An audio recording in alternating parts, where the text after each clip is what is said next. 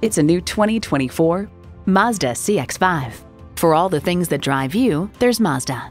It comes with great features you'll love.